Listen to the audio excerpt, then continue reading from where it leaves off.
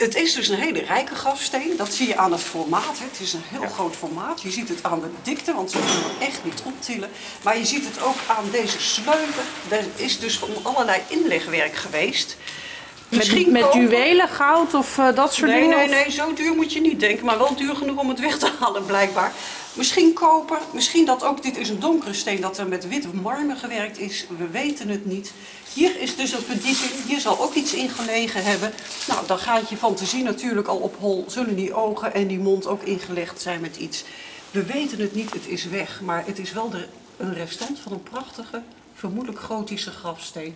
Dus ik sta te boenen op een hele oude grafsteen, misschien wel de oudste van Kampen, maar dat zal dus door deskundigen onderzocht moeten worden.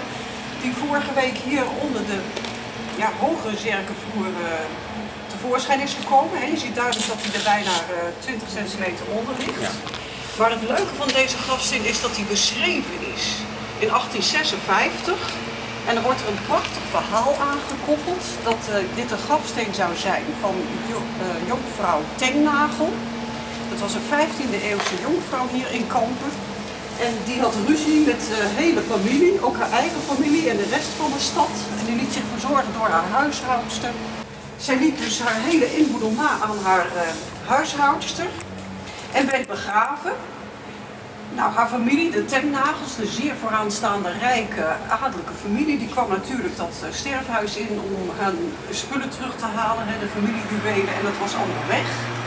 Toen zijn ze de huishoudster vrij snel gaan ondervragen en ja, die had toch wat gewetensnood, dus die heeft vrij makkelijk toegegeven dat ze hun verwant Marius moesten opgraven. Dat hebben ze gedaan. Nou, dan mag je afvragen als er nu al een extra taak onnodig is om deze grafsteen de lucht in te krijgen. Van wat er toen, eh, hoe ze dat gedaan hebben. Maar in ieder geval, ze hebben de oude jonkvrouwen opgetakeld. En toen vonden ze dus een lijk waaruit eh, ingewanden gehaald waren. En dat volgestopt was met alle geld en juwelen van de jonkvrouw.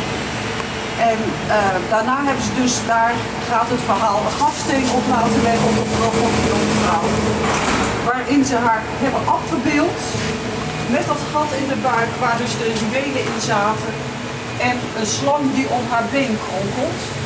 Maar ondertussen hebben wij toch wat twijfels over de waarheid van het verhaal, behalve dat de grafsteen wel degelijk bestaat. Want dat wisten we tot nu toe niet.